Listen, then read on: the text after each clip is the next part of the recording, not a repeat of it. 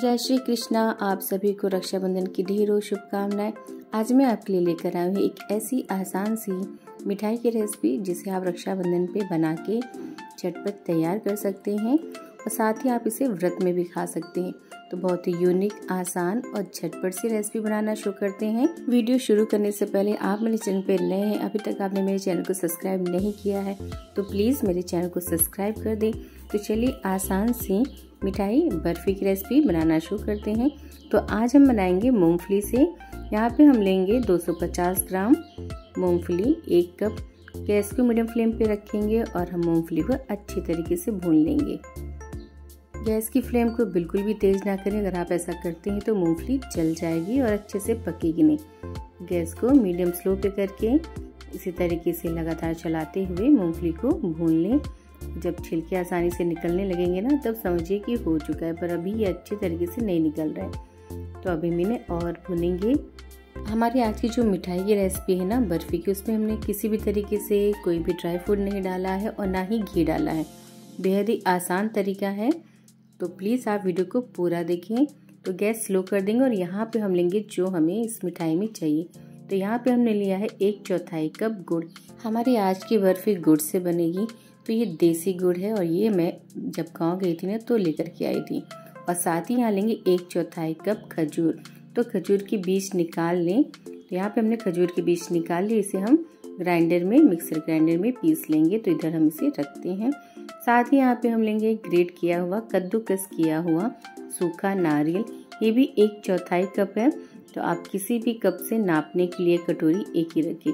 साथ ही यहाँ पे हम लेंगे खजूर का बीज। तो यहाँ पे हमने तीन चम्मच खजूर का बीज लिया, इसे हल्का सा एक मिनट के लिए हमने इसे भून लिया था। तो सिर्फ़ हम आज यही ड्राई फ्रूट में डालेंगे, बाकी यहाँ पे काजू, बादाम किशमिश कुछ भी हमने यहाँ नहीं डाला है। तो चलिए यहाँ पे एक मिनट तक इसे अच्छे तरीके से भून लें, उसके बाद ही बर्फ़ी में बनाने में लें। तो ये हमारी मूंगफली भी अच्छी तरीके से भुन गई है। तो गैस स्लो कर देंगे तो धीरे धीरे मूंगफली भुन जाती है और ये आसान से छिलके निकलने लगे मूंगफली के। तो बस यही पहचान है कि हमारी मूंगफली अच्छी तरीके से भुन गई है। गैस बंद कर देंगे और मूंगफली को ठंडा करने के लिए रख देंगे। तो यहाँ पे हम सारे मूंगफली को निकाल लेते हैं।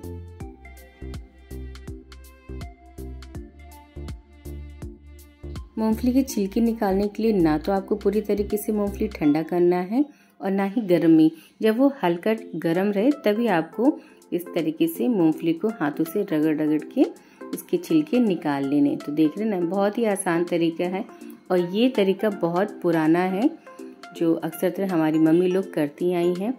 तो बस ऐसे ही हम इन्हें मलेंगे और आसानी से सारे छिलके निकल जाएँगे। और इसके बाद देखिए उसके बाद हम बहुत ही आसान तरीके से सारे छिलके निकाल देंगे ये देखिए। तो कुछ इस तरीके से आप बड़े थाली या बर्तन में ले लें और इस तरीके से आप सारे छिलके निकाल लें। तो चलिए, इसी तरीके से हम सारे मूंगफली के छिलके निकाल लेंगे। इसमें जो बाकी हैं, उन्हें भी अच्छे तरीके से मलेंगे और छिलके निकल जाएँगे। और अगर कुछ छिलके रह जाते हैं मूंगफली के तो आप बिल्कुल भी परेशान ना हो। उससे आपकी बर्फ़ी का स्वाद बिल्कुल भी ख़राब नहीं होगा।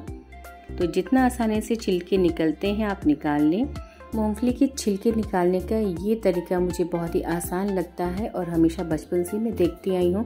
मेरी मम्मी भी इसी तरीके से मूंगफली के छिलके निकालती थी। तो ये देखिए, हमने सारे छिलके को निकाल दिया, जो बाकी है तो आप उसे रहने दें, बिल्कुल भी परेशान ना हो।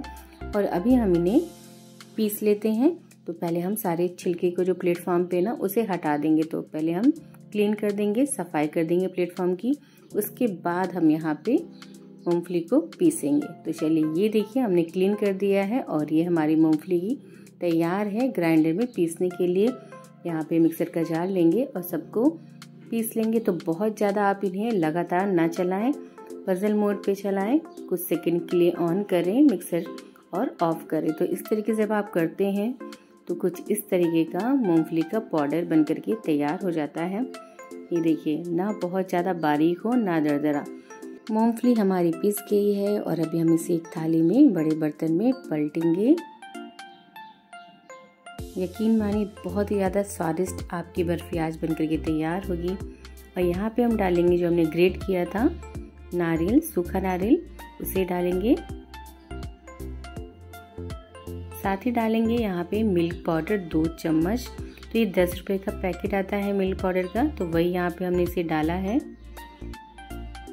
ये पूरी तरीके से ऑप्शनल है, अगर आपके पास है तो ही डालें। तो सबको हम अच्छी तरीके से मिला देंगे। और झटपट सी रेसिपी अगर आपने यहाँ तक देखी है तो मुझे यकीन है आपको पसंद आ रही होगी। अगर आपको मेरी रेसिपी पसंद आती हो, उसे शेयर करना ना भूलें और वीडियो को पूरा देखें। साथ ही यहाँ पे हम डालेंगे थोड़े से एक चम्मच जितना खरबूजे के बीज। आप यहाँ पे ड्राई फ्रूट भी अपने पसंद से डाल सकते हैं। तो चलिए, यहाँ पे आज हम बिना घी के बना रहे हैं। तो एक कढ़ाई रखेंगे और इसमें हम डालेंगे एक चौथाई कप ताज़ा मलाई। आप मलाई की जगह घी भी ले सकते हैं चार चम्मच। तो यहाँ पे हमने घर की ताज़ा मलाई ली है, चार चम्मच। गैस की फ्लेम मीडियम ही रखें। और ये देखिए, हमने जो खजूर लिया था, उसे अच्छी तरीके से पीस लिया है। खजूर की जगह आप किशमिश भी ले सकते हैं। अगर आप मीठा कम खाना पसंद करते हैं तो आप इसमें ड्राई फ्रूट को पीस के डाल सकते हैं। तो यहाँ पे हमने खजूर लिया है, आप इसकी जगह किशमिश भी ले सकते हैं। या खजूर किशमिश नहीं है तो गुड़ की मात्रा बढ़ा दें। तो यहाँ पे देखिए, जैसे एक उबाल आता है ना मलाई में तो ये हम खजूर को डाल देंगे। गैस आपको इस समय स्लो ही रखना है, धीमे ही रखना है और सबको मलाई में अच्छे तरीके से मिला देना है। तो बस, इसमें जो टाइम लगने वाला है, बस वही, उसके बाद तो आपकी जो बर्फ़ी है ना, बहुत ही जल्दी बन के तैयार होगी। तो बस लगातार चलाते हुए इन्हें हम अच्छे तरीके से मिला लेंगे मलाई में। खजूर के साथ यहाँ पे हम डालेंगे देसी गुड़। देसी गुड़ की यही पहचान होती है कि वो हल्का चॉकलेटी कलर का होता है। तो आप इस चीज़ का ध्यान दें कि जब भी आप मार्केट में देसी गुड़ मांगे तो आपको ये ब्राउन कलर का ही मिलना चाहिए। तो चलिए हम दोनों को लगातार चलाते हुए अच्छे से मिला लेंगे। गैस की फ्लेम को धीमा ही रखिए, तेज़ बिल्कुल भी ना करें अगर आप तेज़ करते हैं तो ये जलने की पूरी चांसेस है। तो इसी तरीके से हम सबको अच्छे से मिला लेंगे। गैस धीमा ही रखें और यकीन मानिए, आप इस तरीके से जब आप बर्फ़ी बनाते हैं ना तो बहुत ही ज़्यादा स्वादिष्ट लगती है। बनाना तो बहुत ही आसान है। और कम से कम चीज़ों से आप घर की चीज़ों से बना के तैयार कर सकते हैं। तो ये एक पेस्ट सा बन के तैयार हो गया है, देख रहे हैं ना? कुछ इस तरीके से बस। इसके बाद हमें इसमें डालना है जो हमने मूंगफली भून करके रखी थी और साथ ही उसका पाउडर बना लिया था। तो बस सबको हमें इसमें डाल देना है। गैस धीमा ही रखें और सबको लगातार चलाते हुए अच्छी तरीके से मिला लें। और अभी इसमें हमें कुछ भी नहीं डालना है। आप चाहें तो इसमें इलायची का पाउडर डाल सकते हैं, पर यहाँ पे हमने नहीं डाला है। तो बस हमें इसे सबको अच्छे से मिला देना और एक डो जैसा, बर्फ़ी के डो जैसा बन के तैयार हो जाएगा।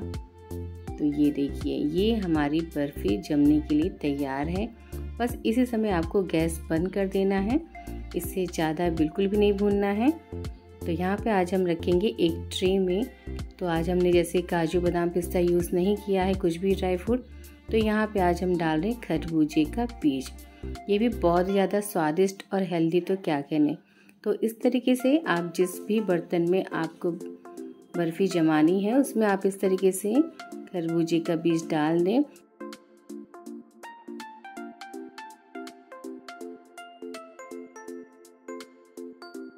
बर्फ़ी का डो डाल देंगे और उसे अच्छी तरीके से फैला देंगे। तो आप इस चीज़ का ध्यान दें कि आपको बस इस तरीके से डिब्बे में रखते जाना है और उसके बाद ऊपर से प्लेन कर देना है। इस बार का रक्षाबंधन बहुत ही ज़्यादा अनोखा है, क्योंकि सावन का सोमवार है और सभी बहन भाई व्रत रहेंगे। तो इसलिए हमने सोचा क्यों ना एक बहुत ही ज़्यादा व्रत की हेल्दी टेस्टी और यमी सी बर्फ़ी की रेसिपी शेयर की जाए, जिसे बनाना भी आसान है और सभी उसे खा सकें। क्योंकि व्रत है तो व्रत में आप इसे बना के खा सकते हैं। और मूंगफली से बनी है तो बेहद ही आसान है। कम खर्चे में आप इस तरीके से स्वादिष्ट बर्फ़ी इस बार रक्षाबंधन में ज़रूर बनाएँ। बनाने में बहुत ही कम समय लगता है और इसकी सामग्री भी कम से कम है। तो चलिए, यहाँ पे बर्फ़ी को अच्छी तरीके से हम सेट कर देते हैं और आप इसे रख दें 15 से 20 मिनट के लिए फ्रिज में। या फिर रूम टेम्परेचर पे। जब वो अच्छी तरीके से ठंडी हो जाए, उसके बाद ही काटें। पर यहाँ पे मैं पाँच मिनट के बाद ही बर्फ़ी को काट रही हूँ। उससे अच्छा शेप नहीं आता है क्योंकि वो थोड़ा गर्म रहता है। जब बर्फ़ी ठंडी हो जाए, तभी आप काटें। अभी बर्फ़ी अच्छी तरीके से ठंडी नहीं हुई है तो आप इस चीज़ का ध्यान दें कि फ्रिज में रख दें। अगर आपको जल्दी हो और टाइम है तो आप बाहर ही अच्छे तरीके से रूम टेम्परेचर पे आने दीजिए। उसके बाद ही बर्फ़ी काटें। तो चलिए यहाँ पे मैं आपको काट के दिखाती हूँ। अभी बहुत ही ज़्यादा नरम और सॉफ्ट है। यकीन मानिए, हेल्दी तो बहुत ही ज़्यादा है। अगर आप शुगर खाना नहीं पसंद करते, चीनी तो आपके लिए बेस्ट रेसिपी है। और मेरी तरह अगर आप बिल्कुल भी झंझट नहीं करना चाहते हैं तो भी आपके लिए ये रेसिपी है। तो चलिए यहाँ पे अभी देख रहे हैं ना आप काट रहे तो अच्छी तरीके से शेप नहीं आ रहा है। और ये मैंने आपको एक काट के दिखा रहा है। दिख रही है ना? कितनी यम्मी टेस्टी सी। कम मेहनत हो, कम से कम सामान में आप इस तरीके से स्वादिष्ट बर्फ़ी, साथ ही हेल्दी भी बर्फ़ी बना के तैयार करें। उम्मीद है आपको हमारी आज की रेसिपी पसंद आई हो। आप सभी को रक्षाबंधन की ढेरों शुभकामनाएँ। आप मेरे चैनल पर नए हैं, आपने मेरे चैनल को अभी तक सब्सक्राइब नहीं किया है तो प्लीज़ आप मेरे चैनल स्वाद घरसा को सब्सक्राइब कर दें। अगर आपको मेरी रेसिपी पसंद आती हो तो प्लीज़ उसे शेयर करना ना भूलें। चलिए मिलते हैं एक और रेसिपी के साथ। तब तक अपना ख्याल रखें। आप सभी को फिर से रक्षाबंधन की ढेरों शुभकामनाएँ। Happy Rakshabandhan thanks for watching